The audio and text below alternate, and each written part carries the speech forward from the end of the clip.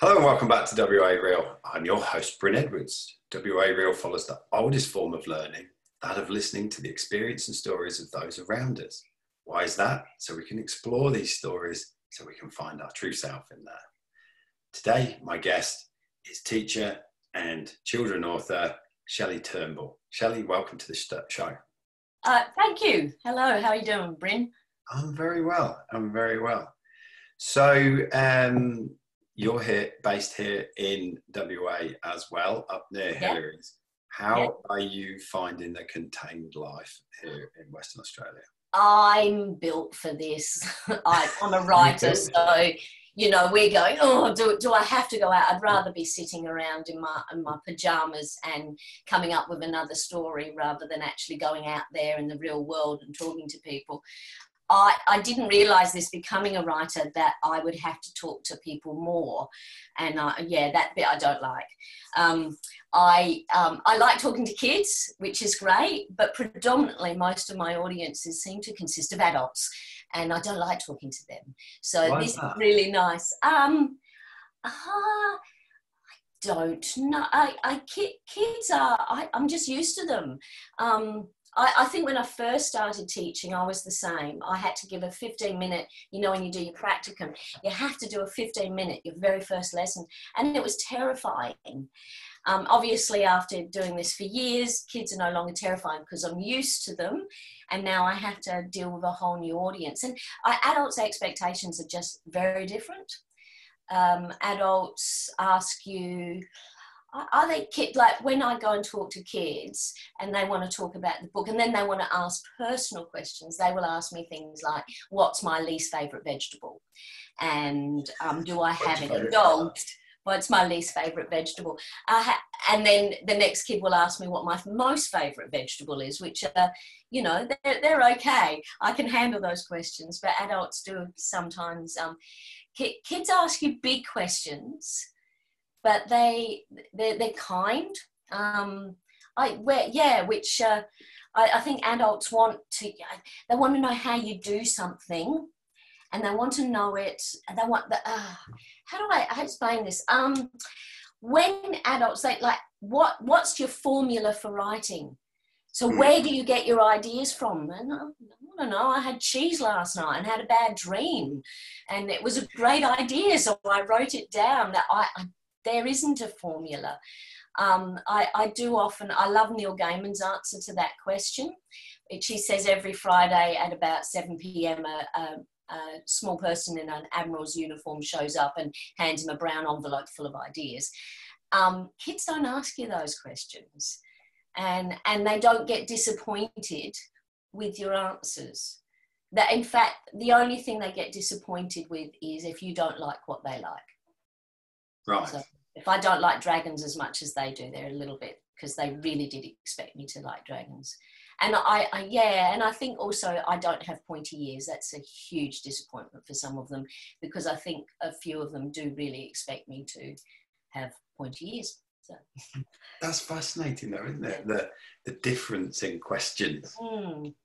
and um, yeah, the sort of lack of imagination and wanting a more material answer yeah yeah and the and the formula whereas kids will go they will actually ask you like how did you start that? How did you get they get more specific and they get excited they just get excited with uh, simple ideas and and just first steps. They just want to know the first step they don't want to know everything um, and if they do ask you big um, things, it really is about their personal big things. They're not uh, industrial big things like, you know, how many, you know, they don't really care if I write 20 books or 10 books or two books. They really just want to know what the next one is.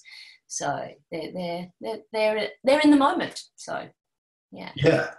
Yeah. And I suppose sometimes some of the questions I can imagine that you get from adults are either A, can't be answered, as in where do you get your ideas from, mm-hmm. or B, can sometimes miss the point. Yeah, and and I think adults, because adults come in with a different agenda. Adults, because I'm a children's writer, Um, maybe it's different for writers for of adults, where their audience is interested in the story and um, the the author author's thoughts on the ideas they have in the story. But people come, adults come and listen to me because they want to be children's writers. Or they're other teachers who want to know how to, and, and you know, they get excited. I'm a teacher too, so I should know how to um, do my book as a class study and I go, it's, it's my brain doesn't go there. Uh, I think I didn't write the book so that children would have to um, deconstruct it. Uh, yeah, right. you know, I do look at books and I go, yes, we'll do this to Jane Austen, and here's Shakespeare. He's been done to death, but we'll do more of this on him. But yeah, I, I'm sure William Shakespeare just wrote his plays to be enjoyed, and I write my books to be enjoyed. And I, I think I read books for children that are all about teaching them things, teaching them how to be better children, so that might be better adults. And yeah, yeah they're not my favourite children's books. So, mm, the moral of the story, yeah, yes, yeah, uh, and I and I think you can't help put your own thoughts about life in anyway. But I think if you're slamming people around the head with it, that's not a fun book no, no, no. So I don't really. I I was asked by Bloomsbury to put a little package together of stuff, things kids to to do in class because teachers like it, and I really struggled. Whereas I think you could give me any other book and I wouldn't. So it, that's yeah, that's in, it's an interesting thing because my brain, it yes, obviously left right brain or whatever it is now, it just splits. No, I'm writing a story because I like story. I just yeah, you're asking me to think too much, I think, sometimes, adults. How did you get into writing children's books? I have always wanted to be a children's writer. Um, I, I always wanted to be a writer. I remember writing poems about snails and slugs and all those fun things kids like when I was about five or six. And when I was 10, when I actually knew what the word published meant, that's what I wanted. I wanted to be a published writer. And I think my biggest mistake and the biggest the best thing i did and the worst thing i did was go and study creative writing at uni because i learnt skills but everybody wanted to be tim winton and i wanted to write for children. And it's no no no no no no. You want to write the great australian novel. And so i tried to pretend that i wanted to write a great australian novel and i failed dismally. Um, and yeah so and and it put me off for quite a long time because i was trying to be a real writer until I remembered that children are real, real, real, writer, and children are a real audience, and they're an important audience. And I, if I hadn't had books as a kid, I swear I would not have survived my childhood. I, I, I, I, I did have a bit of a rough childhood. I, when I got to here to Australia, in, in the UK, it was great. But um, yeah, I, I, if I just say I went to Balga High School, I think for a lot of Perth listeners, they kind of get that. It was rough. Um, and um, we lived in state housing, um, which is, you know, you can have some really nice neighbours, but my mum always said that you put people in pigsties, they're going to behave like pigs and um, and there was a lot. I remember going to my uh, a, school ball, year ten, and um, we lived in the, the an awful an awful big block of flats, and there was a man with a fence picket sticking out out of him. On the boy that took me to the ball, he walked past this man in a lot of pain. They had just had a big fight in the middle of the and and I was surrounded by people who didn't read and I did really correlate between reading. And I, one thing that really stuck me, C.S. Lewis said, that was um, if you give, you know, in real life, and I can't quote him, but it, the idea is stuck with me.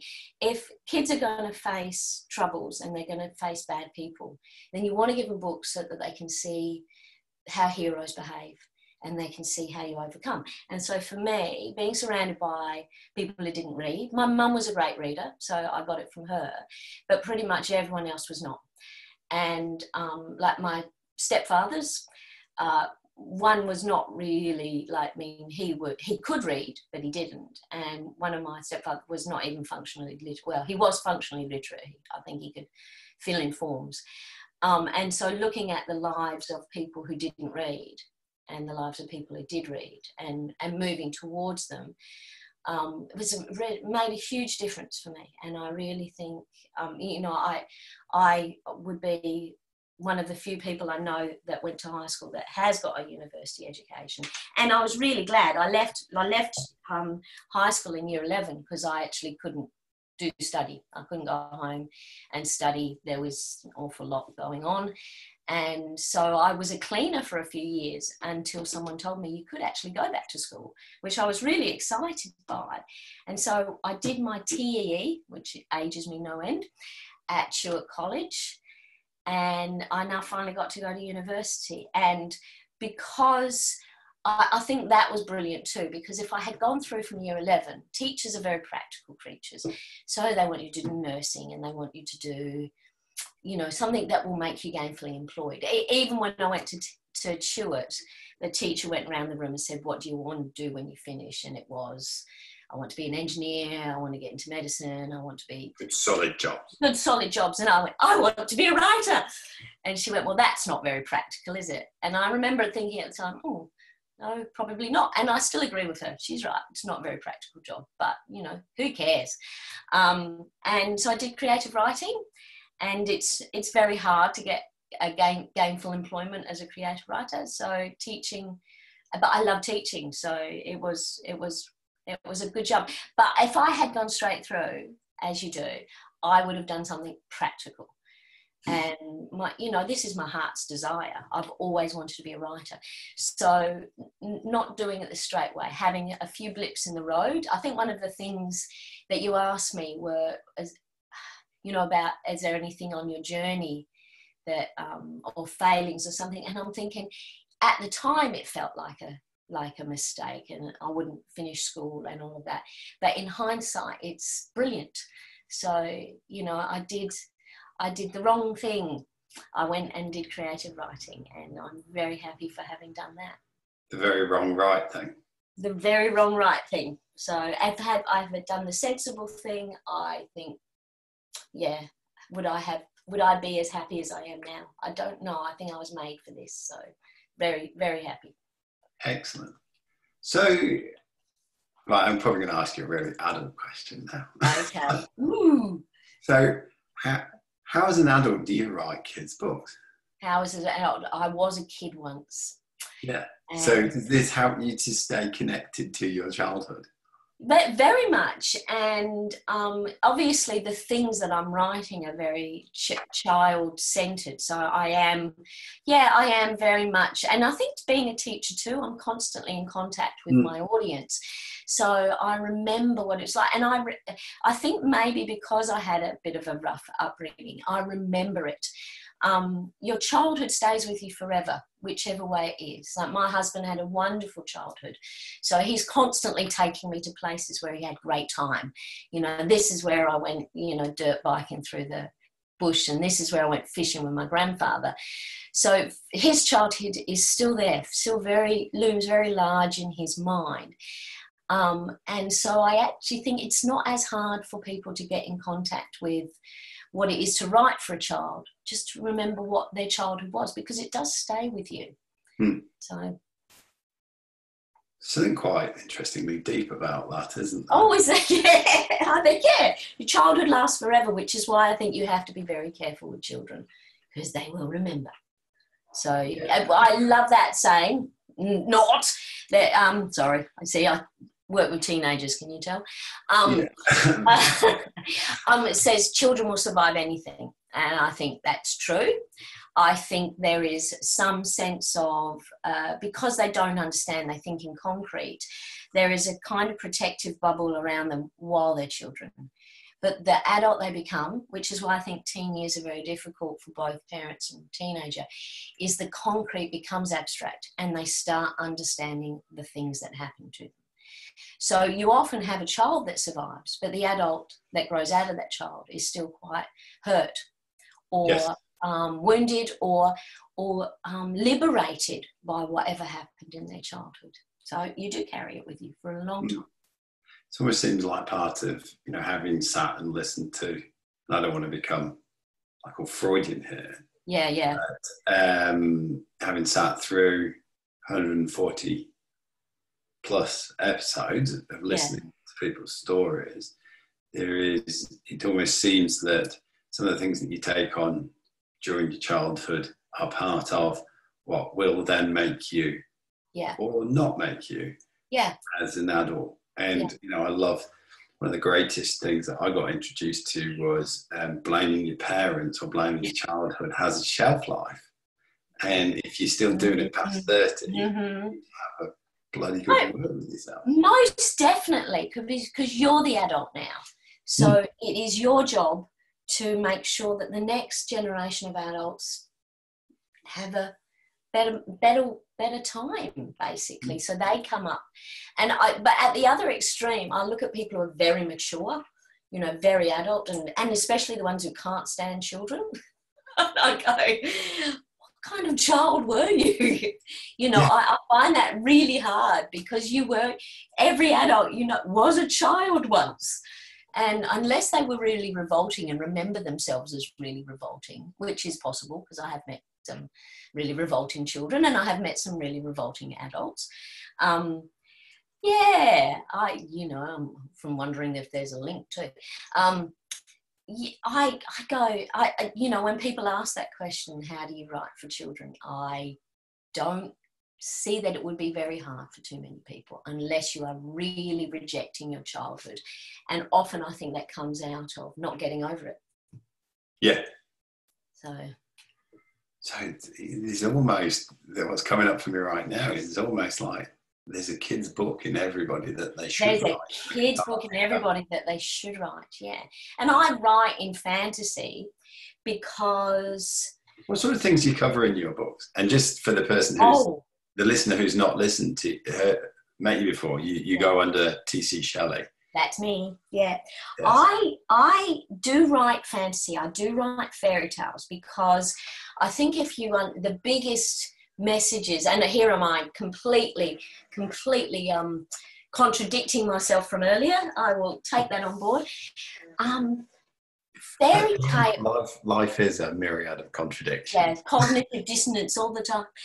I fairy tales are a way of teaching really but it's warning people those mid you know those old wives tales were about warning kids without terrifying them so red riding hood for an adult you know the wolf is not the wolf you know exactly what he symbolizes. And you don't want your little girls and your little boys talking to that wolf out in the middle of the forest when they're by themselves. In fact, you're probably not interested in them meeting him even when you're with them because we know what the wolf symbolizes. But we don't sit down with our eight year olds and our nine year olds and say, this is what the wolf means. The wolf is, please stay away from wolves. They won't be hairy, but you want to stay away from them. What what fairy tales do is actually give you a way of cloaking those very big ideas without frightening the children. So they give give you lovely metaphors. Whereas I think, you know, by 11 or 12, um, you can start telling them the truth without it being in a costume. Yes. But up until then, I think you want you want you're, you're keeping these two things in a real tight tension, protecting the innocence of childhood and pre- protecting their innocence individually. So fairy tales are a really wonderful way of doing that. So in my books, because they the books that I like I said me were the books that actually threw really big themes at me. So life, death um, dissolution, wisdom. They weren't the stories that told me to just be a nice girl. In fact, they were the stories that told me to speak up. And they, I remember very distinctly understanding this, which is something that comes through. In fact, one of my characters says it in the book. Um, uh, the, the the main character says, "Well, what is love?" And the, his one of his helpers said, "Love is wanting someone to be the best version of themselves." Because there are people who will emotionally be very, very invested in you, and it will be for very, very different reasons. So they will say they love you because their feelings for you are powerful. But if it's not their intention for you to be the best version of you, they don't love you enough. Um, and I remember thinking that very thought in those words when I was 12. So somebody in a book taught me that. Wasn't, and because I was dealing with adults around me who wanted me to be like them. Um, and again, I'm going to say, like, because if my mum ever hears this, my mum is not my mum, was my lifesaver and an absolute love. But there were a lot of people around. You know, when you get kids at school who, you know, if you want to fit in with us, you'll do these things, the peer group pressure. And you go, you don't really like me. You actually want me to do the rotten things that you're doing because you want me to be like you and make you feel better about you doing those things. Mm-mm, I don't want those friends. In adulthood, don't we? Yes, yeah, it doesn't go away. I, you, I meet bullies, the same peer group group bullies in adulthood. It doesn't go away. This whole notion that it stays in the schoolyard is is, is a myth. You will meet adults. Your bosses will do it. I, I have a friend at the moment, same name as me, Shelley, who is oh gosh, now now she's going to be embarrassed. Um, who her the people she works with, she has one of those people is actually like that. And and and you go and and adults will talk about it. We're debriefing. And really, if we could just say it the way he's bullying me, you know, he's a bully. And I don't want to do that. But, you know, and when they become your boss, you, you have to figure out methods to deal with this person. And the, the, I think the first method is just recognizing it. Yeah. The best method, even if you're stuck stuck in a situation with toxic people, is at least to know that they are. Sometimes you can't walk away from it straight away. Eventually, hopefully, you love yourself enough to get yourself out of there. But sometimes, and for kids, that's exactly, sometimes you cannot walk away from a toxic situation. Now, that's why I really, you know, kids get stuck in a situation where they have the least amount of power. So they have to have the most amount of knowledge, I think.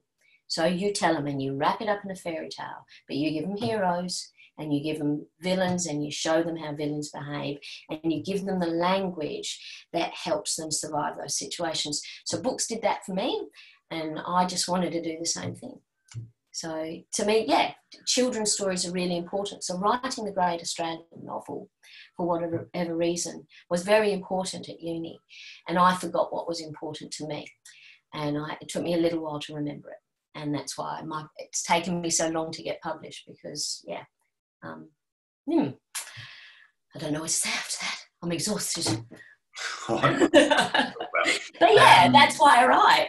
Um, and yeah uh, I think uh, that's why I write. What what I'm writing and where it's coming from is not always so easy to to, to it, um, and again I might be tell me if I'm being over adult here because I'm I'm really might be, you might be. That does it does it often come with a with a fairy tale first, or does it come with a little message first, and then the fairy tale gets woven over, or is it mixed? All right, now you're asking. You see, you're asking how does it present itself? Don't I couldn't give again. I've had dreams, and I've I had when te- when I was oh this I shouldn't admit to this, but I'm gonna. Um, you know, you know, um, people talk about post post um, natal depression, so that's the big one. Everyone knows about that, and we know about prenatal.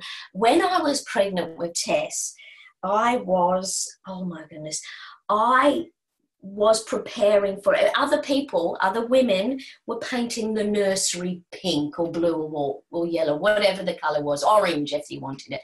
I was preparing for multiple apocalypses. Okay, so I I was um, I went to see heavily pregnant, went to see Alien versus Predator with my friend Jen, and she knew I was getting like this. So at the stage where there's this stage where this alien puts its hand up against the window of a nursery, and you know it's just looking at all the candy inside, which is just, she literally physically bodily separated herself from my view of the screen at that point in time, and I would start working through. So if aliens aliens um uh, you know, invade. This is how I will do it. To the point, and my husband called it my zombie box. I had a box of food and a four litre bottle of distilled water in the baby's room in in the cupboard just in case I needed to self isolate. See, I've been preparing this for eight. There you go. Um, just in case I the box in the water is gone now. I think it did take till she was about six months old before I moved it, but I really was, and it was anything I saw. I would be, I would be like, just in case. So, you know, it was not a serene time for me. I have an overactive imagination and I do work well in crises. Um, the problem with it was I kept, I saw, um, I saw, um, oh, I, I saw a film, Man Eating Ants. Bad move. See, you can see I really, really needed to watch what I put in my um, my brain. I kept having this repeated nightmare of this small child in the middle of this swarm of ants coming towards them. And it was terrifying dream and and i was powerless in it. And i sat down. That was the one um, when she was it just kept coming and coming and she must have been that year old. And i sat down and i wrote it out. I wrote the whole book out moving from the beginning of the book to this scene where i basically have my main character save this baby out of the middle of this problem and then obviously end the book and i wrote that book in 30 days 90000 words right. while I had a very small baby. That's where that came from. Um, this book came from my daughter asked me a question. We were watching Tinkerbell, and she said, "Mummy," and I, I'm to the point I can now quote this because people ask, "If fairies are born from a first love, where do monsters come from?" So I wrote her a book. So that came from somebody asking me a question. Um, I have other books that start as a short story because because when I got my agent, she said, "Oh, you've written this book. Do you have any others?" I went, "Oh, I have like a folder, like about ten books that are all finished in a folder. Some of them are for adults, and some of them for uh, young adults, and some of them. This one was middle school because this is the one my daughter wanted me to publish. That's why. Mm-hmm. Um, so you know, she went, "Oh, oh, can I have all of those?" And I, I gave her the synopsis, but I'm a bit precious. I don't don't really want you seeing my book till I've edited it 10 times. So she's still asking me for these books. Um, and because I've been working on this trilogy, my, my editor has been getting all of my attention. So my agent's getting like, every now and then I get a, hey, have you started editing anything else? Not yet. So, or I have a little bit, but I'm not telling her that. She may hear this. I should take that back. I'm not working on anything else, just doing what my editor's telling me to. but yeah, look, I can't tell you. Seriously, I had a recurring nightmare that came out of this very bizarre um, yeah, I, I, I did think to myself, I better not tell my friends. They're going, Jeez, do you think the bunny rugs with the yellow rib or the one with the nice edging? And I'm going, you know, I'm just stocking up in lentils and rice. So, yeah. Yeah, so they really must like. Well, look, it's interesting because I more and more I buy into the idea that there's rather than we have ideas, there are ideas out there, and then we just channel into them, yeah, connect into them, and they can come in lots yeah. of different strange ways, whether it's an epiphany in the shower or somebody yeah. asking you a question. Yeah, yeah. One thing on the TV makes you go, hmm. yeah.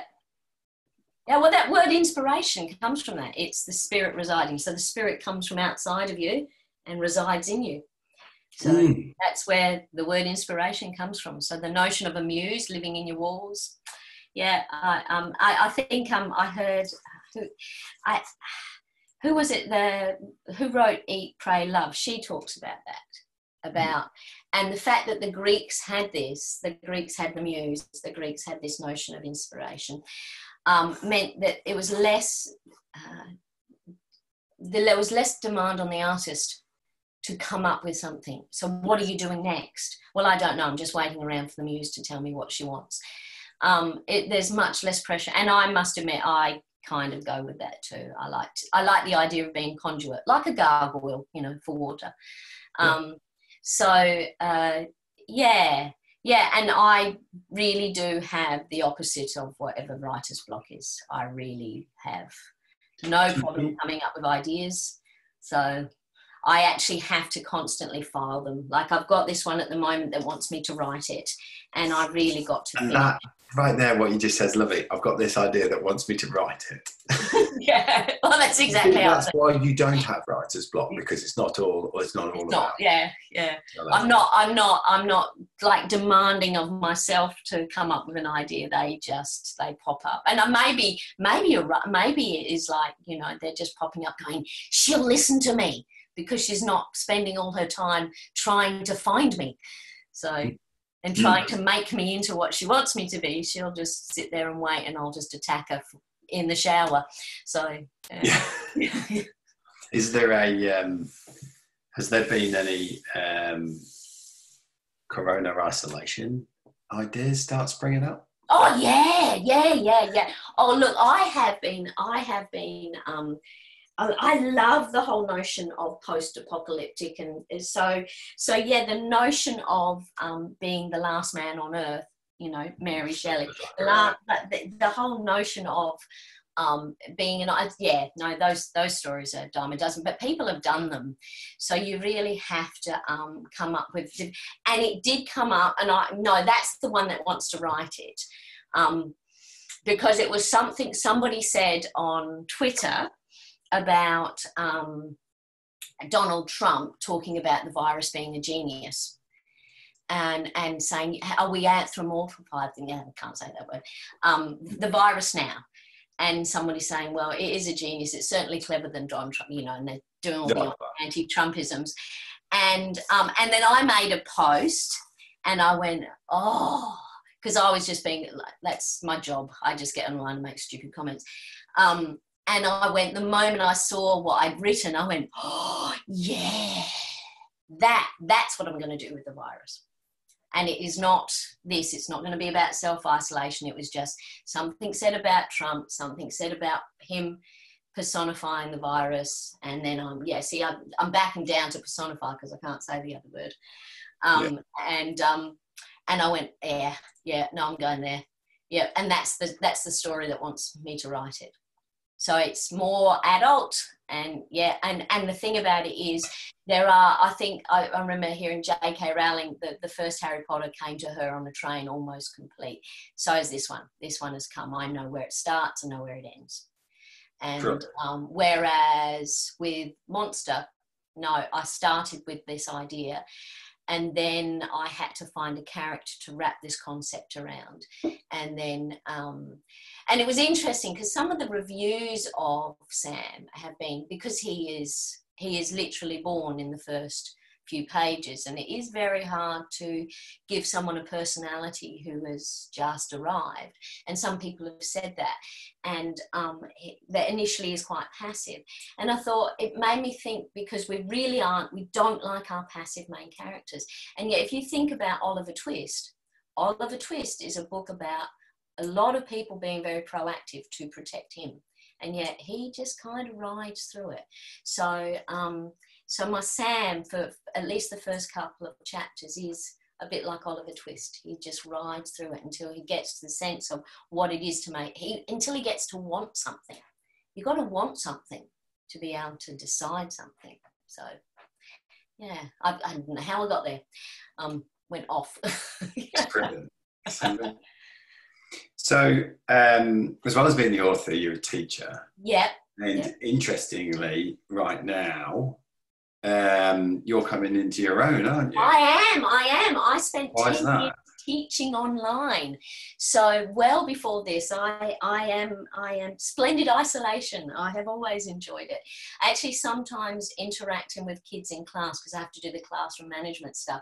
I am not good at that. I I, I admit I'm okay because I'm 20 plus years of teaching but there are people who are much better but I taught for two uh, two schools at one point, one based in Sheffield in the UK and one here in Perth.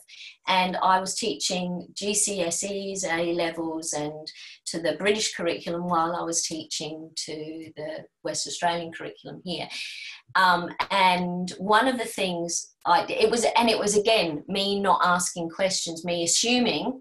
When I got offered the job, it was hilarious because the principal of the school came here and he was traveling his um, online stuff around um, uh, Australia, and he was just looking at what other schools were doing. And I really found it fascinating what he was presenting. And I went up and said, "How do I get a job in your school?" He said, "You have to work in Britain. You, you know, if you want to teach." Um, to the British curriculum. And I kind of forgot about this. And I went to the UK. I actually went to, uh, um, I went to New Orleans for a little while, went and lived there for a little while and worked on a, um, in a, a, school that um, I guess, you know, they call them the projects over there, just for a little while, helping someone write stuff to get people positive thinking. So kids who have been chucked out of every school to get them to do some positive thinking, which I'm really for changing your mind, cha- changing your brain and your mind simultaneously. Um, and then I ended up in the UK and ended up in a British school teaching in Derby, Derbyshire and um, and the principal of this school because something I'd said to him had really resonated with him about the medium of teaching online, um, which is why I was so fascinated by it. Showed up on my doorstep and offered me a job. And I went, yes, yes, I'll take it. Mm-hmm. And so what he did was forwarded the last teacher's work for me. And it was all Word documents. And I went, well, that's a bit boring. And I learned, believe I learned how to build websites and um, I got myself some accounts with animation and I made them like a little bit more interactive. I found out that, and this is over uh, yeah, late late 1900s. So so the technology is not quite as good as it is now. But and I sent the kids this on CDs so that hmm. they would go lesson one and it would open up lesson two and learnt all the stuff that that web you know not as much as i could i didn't do it brilliantly but um, three clicks. You don't want to be any more than three clicks away from your destination. I learned these four things, and this is the thing that the, these four things you need to include if you want a good online lesson. They've got to see something, they've got to hear something, they've got to interact with something, and they've got to do something. Now, those are four separate things, but they can often be combined. So if you give a video that's obviously seeing and hearing simultaneously, you can do something interactive. So that could be seeing and um, interaction and and obviously interaction and doing a test. So you mm. want to keep it. You want to give them.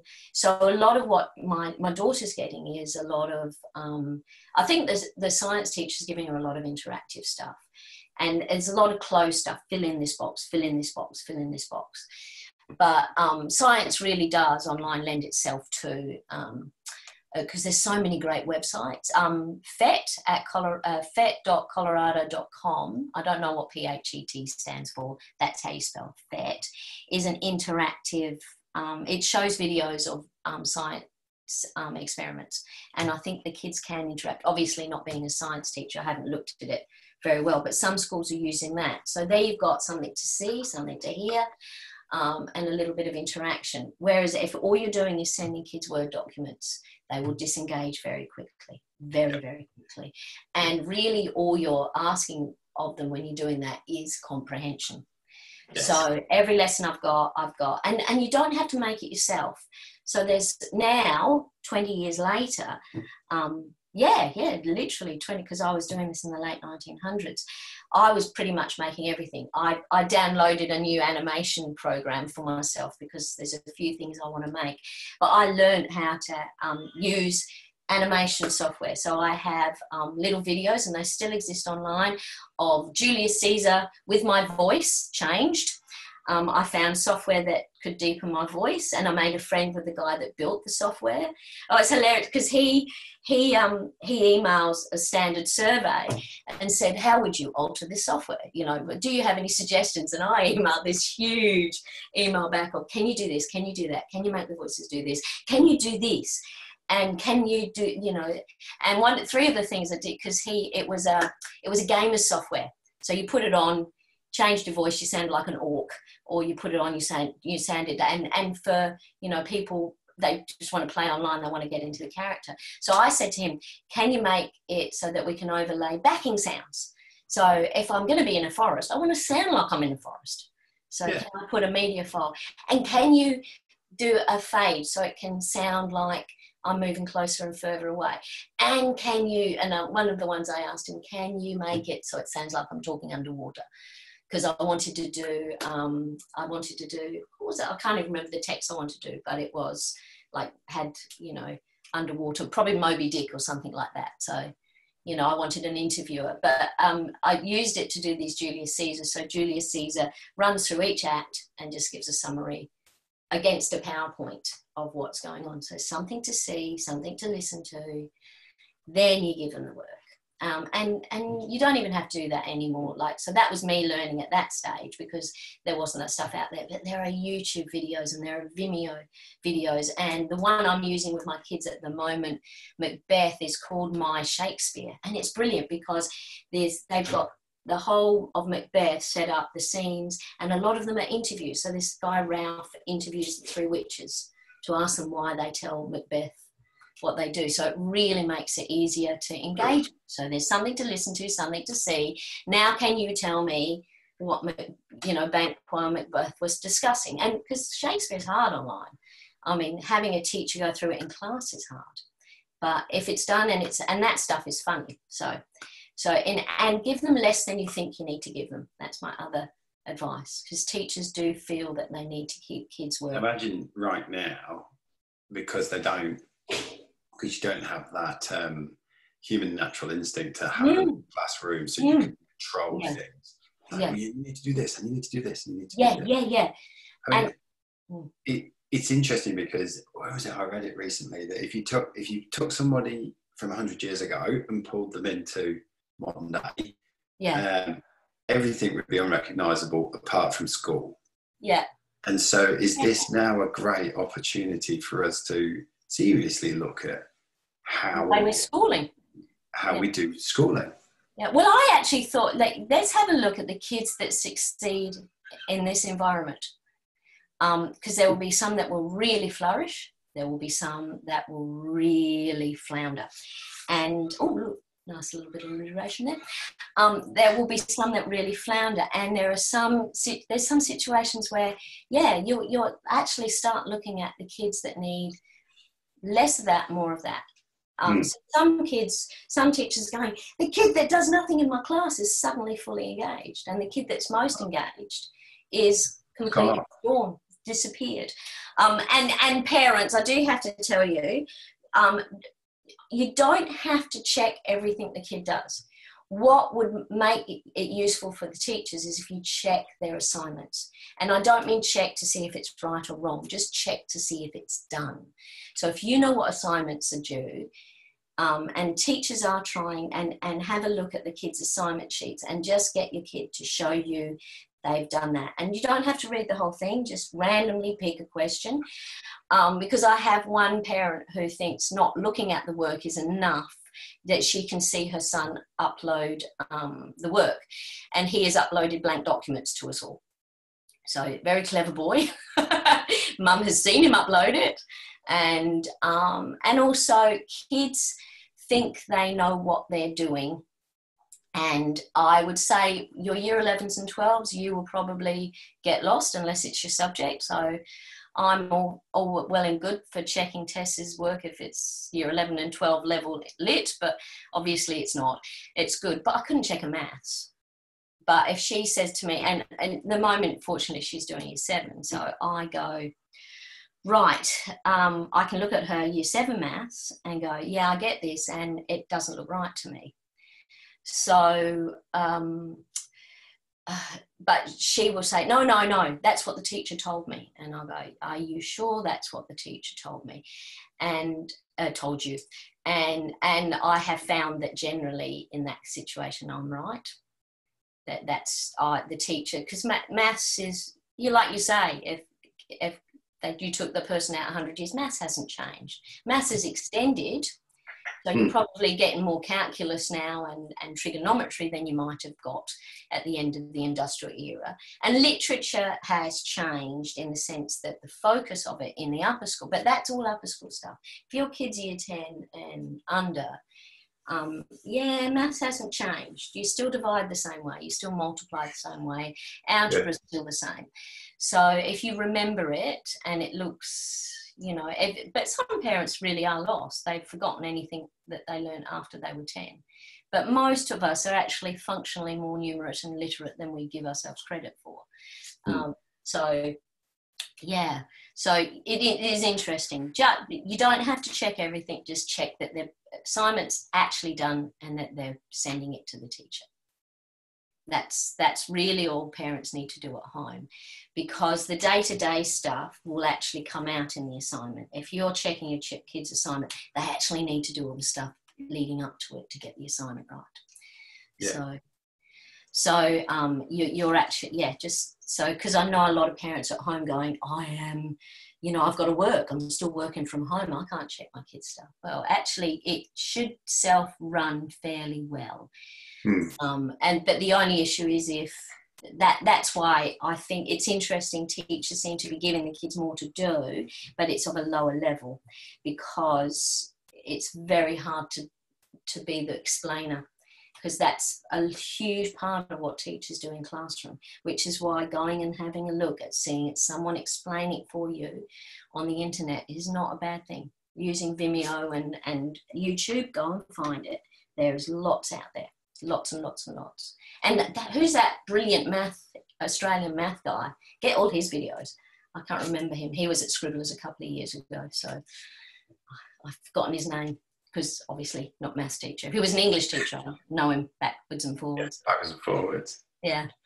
So what are some of the what are some of the common mistakes that parents might be making at the moment? That they've got to check everything, they've got to be on top. Got to check everything. They've got to be almost like the quasi teacher. Yeah, they've got to be the quasi teacher. Um, uh, kids are going to be really anxious. So, um, and and I think both teachers and parents have got to do this. This is for some kids they will flourish, for other kids they are going to flounder.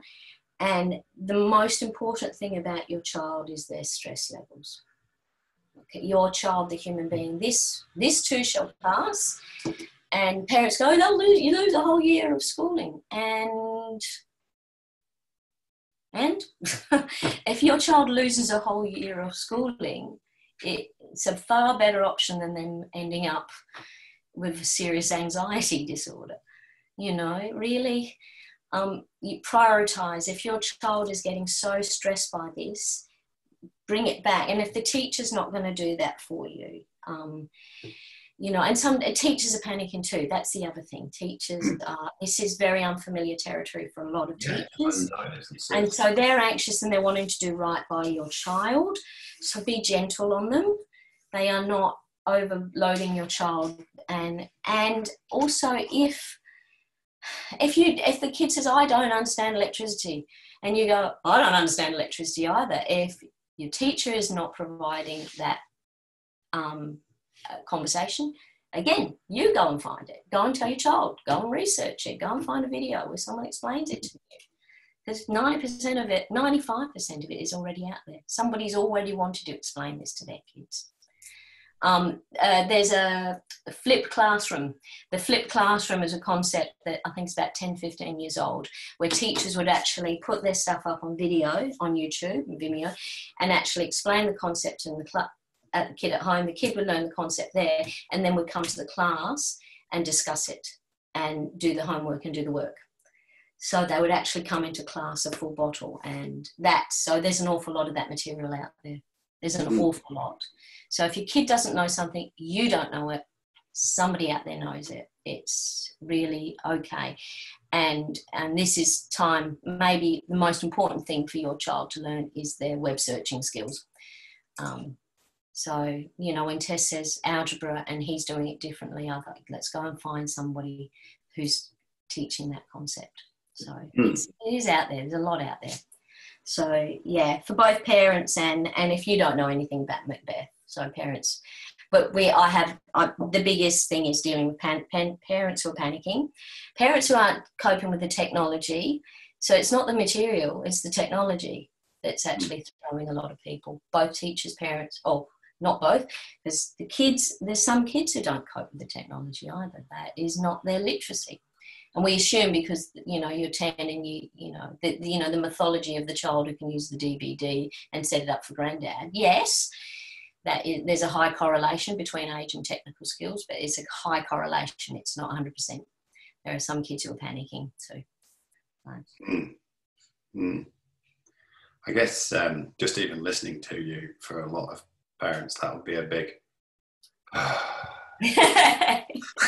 prioritize, prioritize. Your child's mental health is the most important thing. Your Yeah. mental health is the most important thing. Yeah. Um, and you know, even I, I, don't know what they're doing. They're doing in the US, but I've heard that they basically I, they haven't done it here. We still have to assess things. But I know that things like um, I had a moderation due this year, and that's been deferred till 2021 because the government are understanding, teachers are understanding this may all fall apart because we don't know what we're doing. Um, I, I, I actually think I should quit my job as a teacher and actually just go PD teachers on how to do this and how to do it in a way that's fun for them and and find the materials stop trying to reinvent the wheel because what we do we've got everybody's there, there's some things you have to make like the how to use our technology video um, you really do have to make that like um because uh, like at Tessa School, the, the SEQTA program they've got, I'm very familiar with as a teacher, been looking at it before. Um, but some parents are going, they're on Facebook, they know how to use that, and they're going, ah. Um, and, and I must admit, the first learning management system, LMS, that I used was something called Moodle, which was very similar to Facebook. Mhm. Um, and I, put stuff on there and send them my discs, which were interactive, and you make it simple. Just find the index page. That's you know everything. Everything's got to be simple. No more than three clicks. Um, that's the big thing. So if kids are having to do five clicks, I, I, Tess's French assignment, um, the French teacher was going, just do this, find, do the assignment and do this. And Tess was panicking because she couldn't find the assignment. And the poor man, I was like, calm down, we'll find it. He put it in term two instead of term one. That was all. Really easy mistake. Um, but of course, at home, and I have a, a child who's really, really wants to do well at school. So for her, it's a bit of a so so that's what happens you you know there's anxiety for all sorts of reasons and the most important thing is to bring the anxiety down first Yeah. Because then, yeah, the more the more the higher the anxiety, the the less you learn doesn't matter you learn because the more you think. yeah. Is there an opportunity here for us to um, understand more how different people learn and unlock that? Because, you know, I'm not, I did this podcast to throw bricks at the education system, but it, it is one person, front of room, puts message out, yeah through class classroom full of kids. Yeah. You know, I was I was really lucky, and because there was a uh, teacher, there were two teachers uh, in my life. I'm going to name them: Jill Anstey when I was nine, and then another guy at twelve called Robert Noble. And Robert Noble helped me to understand how to revise for tests, right, ah, good and for skill exams yeah and he unlocked the world at that point the world to me. Because previously i just thought i'll just read my book and it'll be in there and then i'll go and do the test and then yeah yeah and it will go into my head. And it was and it wasn't. So now he was like no no seriously. Try and find something interesting and then try and find the key part the, the points and then boil it down and then see if you can write those down without having your book open. Yeah. write down as much as you can and then have another look and then see it. And he, but he was always drilling back yeah try and find something interesting. And that that that piece of advice there went Yeah. on to me passing my common entrance at the age of 13, which was one of the most difficult things in the world to yeah do. well done Uh, GCSEs, A levels, bachelor's degree, master's Yeah. degree, all thanks to that piece of advice. Now, if I had not got that, mm. and it I is it is amazing when you get the aha moment and it is amazing a teach as a teacher when you see the aha moment yeah. like I've, I've And- had and- kids yeah Because of that, I was able to learn how I learned. yeah and then see the results. And then all of a sudden, I went from back of class in terms of grades to front of class, and I was like, wow "Holy crap!" Well, it was. And it was, it just, there's the key. Unlock. blue. It's a beautiful thing. Well, I think you'll find uh, in this because my husband, like I said, my husband's working through the night. He's nocturnal. He was good at high school, but when he hit uni, just went because he'd have late afternoon lectures, and he would do his assignments through the night because he's a nocturnal beast. And I would suspect that some of my students will be getting out of bed at 11 o'clock in the morning And yes, they'll miss my live lectures, which is okay because we record them and they put them up, but they will be doing my assignment till late. And then other kids will be getting up. But I have one student who says, and she's a brilliant student, and see this, she says, I don't work in the mornings. And two of my um, sessions, I, I do work at an experimental school, by the way, so that, that whole industrial, um, that kids in straight lines, we don't do that. Mm. Um, uh, it's it is and and I probably I, I think considering I would be the most conservative member of the staff I think I only got in because I write but um and so I I look I I look I I look pretty conservative but obviously something's going on in there um that's uh, a little outside the box. So I think I got it because everybody else is really quite hipster and funky and and I'm really not and um, but the kids are too. Like we have kids, they they come with their hair, the, you know, the pink hair, and then the next day they come with it shaved, and they do have a kind of uniform. It's they have to wear the same top, but um, but mostly is it, it's very the, the first thing we prioritize is the children's mental health. Mm. So if this child says to me, "I cannot work this morning," I actually listen to that, and the fact is is that I and I have said to her, I you but but you produce, so I'm happy to receive that. She does. She produces all the assignments. They are always top class. She doesn't work well in the morning. I said, but you have to do something to make look like I'm at least make, forcing you to engage, you know, so that everybody else doesn't pull the same trick. So it is very much a negotiation, and I negotiate all my assignments. Um, generally, because I'm new at this school, the kids have not been courageous enough to um, really take that on board. Um, especially the older ones. The younger ones have. The younger ones go, oh, because I go, read my criteria first, which forces them to read the criteria because kids don't read assessment criteria. You put a number at the end and they don't even know what you've given them the number for. They just know whether they're good, average, or bad. But if I say, if you read the criteria and you go, if I do this, this, this, and this, it hits the criteria here. So it teaches them some negotiation skills. It teaches them to read the criteria and it teaches them that I just want those criteria assessed. So if I'm looking at your technical skills, your literacy technical skills, you're obviously going to have to write something. But if I've said you have to make me, uh, you know, write me a story, and you really want to do a newspaper article on such and such, well, it's up for negotiation as long as my criteria are hit. Um, so mm. it is very much, a, you know, and the younger ones have like, I gave them an assessment um, before we went away, which was a group assessment. So that kind of got a moratorium. But by this stage, my students were going, Oh, can we do it this way? Can we do it this way? Can we do it this way? Can we do it this way? Yes, of course, you can do it that way. Most definitely. Um, in English, that's quite easy because English is a skill based subject. Yeah. Um, I, but I still think there's lots of room for negotiation in in other subjects too. So, and also one of the best ways that is, is actually getting the kids to build the assessment. So from the beginning. Right. We we're going to learn this. I need to learn this. What do you think would be a good assessment to to um, to assess? Which is actually again easier in classroom very hard to do that online because yes. there's 24 kids, 28 well, kids all over the shop, and some of them haven't gotten up yet. So, what have you um, what have you been learning about yourself in this uh, coronavirus disrupted environment? Oh, that that would be hard to say because I probably already pre-learned those things as far as the corona is concerned. As a parent, um, um, I. Uh, uh, it's it probably probably keeping on again keeping on top of the exercise. That would be the big one because um, i write and now i'm sitting in front of the computer teaching whereas i would do my writing and then i would go and you know i, I don't sit down at school.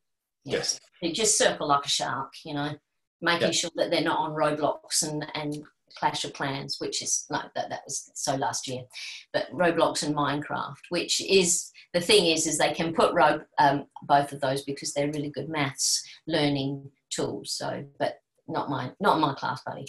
Um, yeah. but um, yeah, so so I don't sit down at school, so I get a lot of paces going. Whereas now it's moving from uh, writing time because that's what I do first thing, and then moving into um, teaching. And um, so getting up and making sure I move is a big one. Um, yeah, and making sure that Tess moves and making sure that we walk the dogs and making sure everybody everybody's getting their exercise which is really because i heard on the radio they're predicting that we're going to put on 30 million kilos as a nation over this so as long as it's not all on me i'm good. I don't mind a couple of those but not all of them. i heard was it heard there's going to be a lot of people that come out pregnant or looking oh yeah. Yeah. That's that's probably going to be a big one. Um, yeah but, um, and they're um, going to call them generation corona like the babies that are all born next, yes. next year. Yeah and uh, yeah the coronials that's right yeah and yes, um, it's a worldwide thing, so that definitely will be the next generation. So, what um, what are some of the things you do to keep you grounded at the moment? Oh,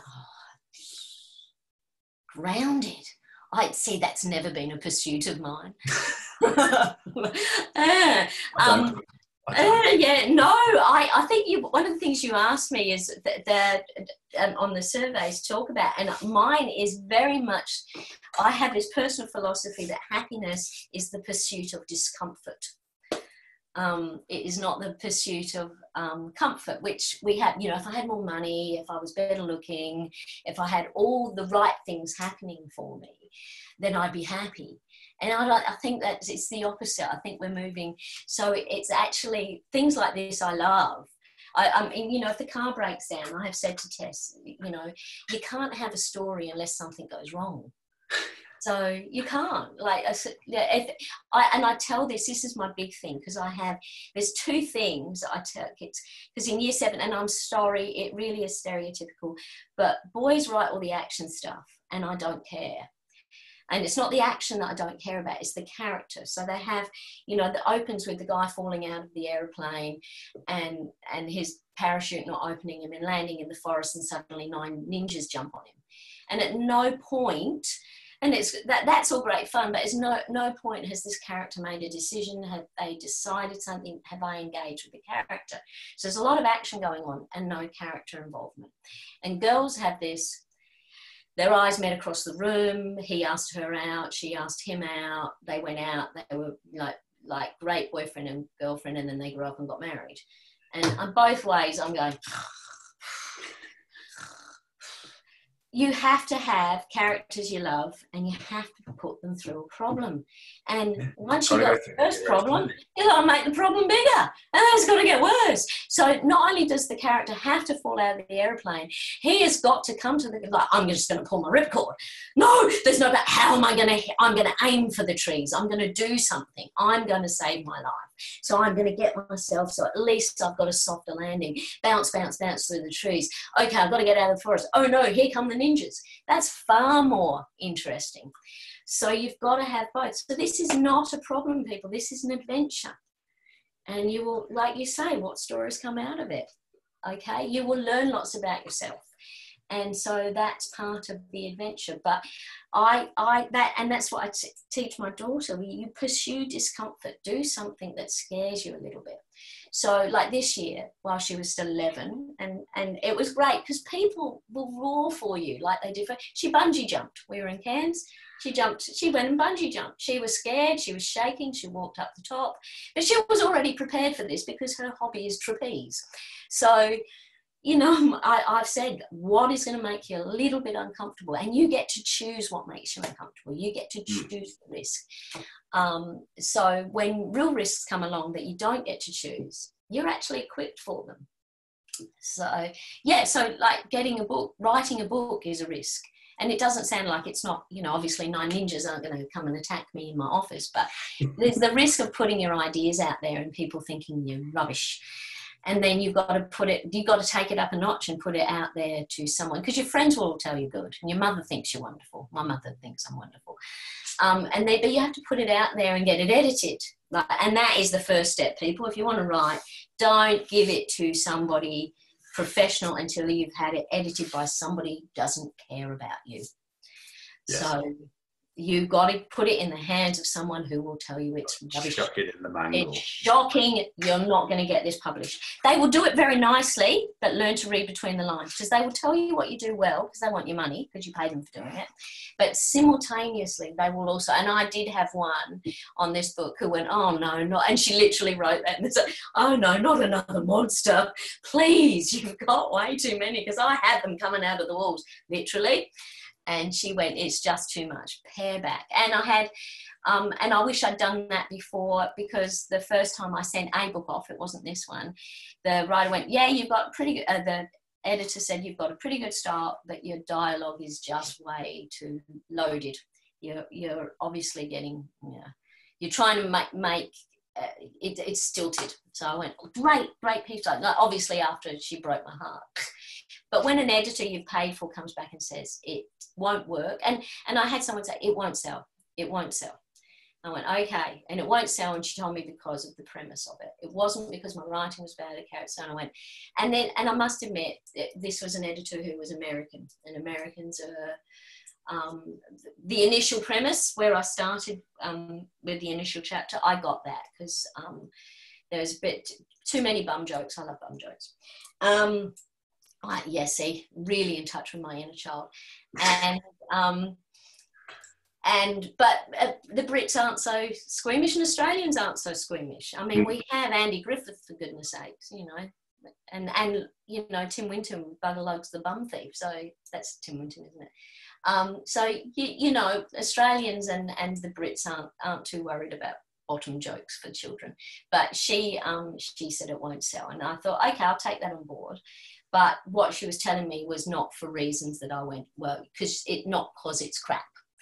Um, and so, and because I set that the monster in um, the monster who wasn't in the UK, I sent it to a UK agent, and I, and again, I took a risk. I had a, the list, and I, and how many times am I willing to hear the word no? That's what I went in with. How many times am I willing to hear the word no before I give up? And I went on sign uh, line, and somebody put that on a website, see, because it's all out there. Don't think of giving up till you've had 80 rejections. Don't give up till you've had 100, and then write the next book. And so I went in with okay. I made I had a list of about 60 and seriously, the first week I got no, no, no, no, no. I went, okay, if I'm going to get told no this often and this frequently, I want to get told no by people I really want to get told no by. Yeah. So I made a list of impossibles, people that I knew would never take me on board as a client. And my agent is one of them. Excellent. So yeah, so I had my list of impossibles, and she was number. No, oh, she was number one. She was number one. Catherine, you were number one. So, and I seriously, it was just because I've gone through this process of really putting, getting it out there beforehand. So people go, I have this amazing, like, because literally from the time I started looking for an agent to the one I got the one I wanted, it was three weeks, which is like unheard of. But it's because I got all of the you are crap, you are rubbish, this isn't going to work for the two years beforehand. Hmm. Whereas I didn't go straight to the agent. I went through a process of, and even then she went, the email she sent back to me was, this doesn't work, this doesn't work, this doesn't work, this doesn't work, this doesn't work, this doesn't work, this doesn't work, but this is all fixable. Right.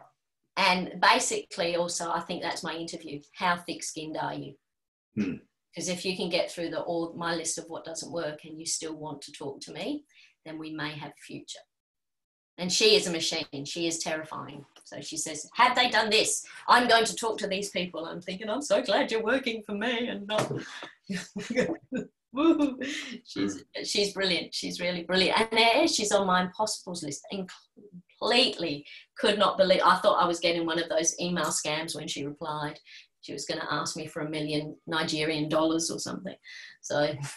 the last question I ask all my guests is okay is um, if you could take one nugget and upload it to the collective consciousness right now, so we all just get it, what would that be?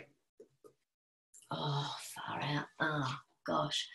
Um, oh, it, I got, it's, it's so trite, but it is, just be kind. Be kind to yourself and be kind to other people. Um, work on the assumption that most people, most people are actually doing their best. So, so in this situation, the corona situation, the parents who are sending the teachers the panicked email are doing their best. The fact that they're contacting you and saying this, the teachers that are putting the stuff online are doing their best. This is new to them. Um, the kids are doing their best, most of them um, and and the ones that aren't you you kind of know the ones that aren't because they didn't before but there's a lot that i have got that have gone silent. And i know it's because they're probably sitting somewhere in a corner biting their nails thinking that i'm really disappointed with them. And and that's a really huge thing in class how often kids are waiting for me to be disappointed with them. And I'm thinking, that's really kind of an awful place to be that your first assumption is that that's what I'm thinking when you tell me you don't understand something or you can't get something. And I tell them this this is, it is not. It is not smart people who don't ask questions the kids that never get anything are the ones sitting at the back of the room going, I don't get it. But if I tell them I don't get it, I'll look dumb. Whereas the really kid that's getting all the best marks is the kid that, kid that asks me nine things. Yeah. No, it's not. And, and it's the kid that argues with me. I, I will often say, when the first kid that argues with me at the end, ah, oh, you're my A student, I can tell, which makes them go, oh. I'll be more. I'm on. I'm on. I'm allowed to argue and argue, not fight. Very big difference. Yes. Be kind and be kind to yourself and worry about your mental health before you worry about anything else. Most important thing in this situation. Just be kind to yourself, be kind to your children, be kind to their teachers, be kind to everybody because, as you know, and it's an aphorism, everybody has a story. You know, even the people that are taking four packs of toilet paper, you know, they're panicking um, and you're going, you know, the, I did did say to my husband during that situation, I don't know why toilet paper because I, I, I was behind the I was behind um the eight ball obviously when we were talking about China not giving us toilet paper. Um, I said I'd be stocking up on rice and lentils because you know not a lot of space, lots to drive. He came home with about ten tins of lentils, and I was thinking, mm, not quite what I meant. but yes, so we've got lots of rice and lentils, and we are we are okay for. And it was funny. I was down to my last roll of toilet paper. Went to the shops, and there was four. There were four bags, and I took one, and we're still we're still in toilet paper.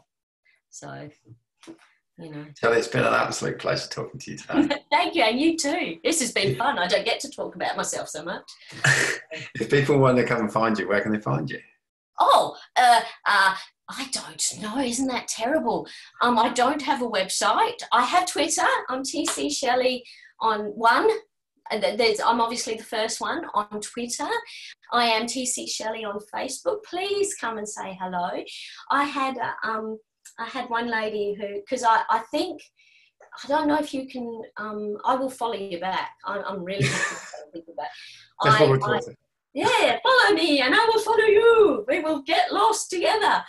Um, but yeah, I had some lovely lady from Queensland say, "Oh, I've read, I've read the book ahead of my kids," and I'm going, I'm so thrilled because I want, I want my stories to be something that adults, the adult, the child grows into the adult and still wants to read. So and still goes, "Oh, there was something else there for me." I know I have lots of adult jokes, and I mean, you know, jokes that adults will get, not adult jokes in yes. my so please, I do have Twitter, I do have Facebook, I don't have a website. I know I should, I know how to build them, but I still don't have one. I, I just have too many ideas of what I want to do and then I get overwhelmed. So mm. thank you Thank so you. much for your time. No problems. Bye, Bryn.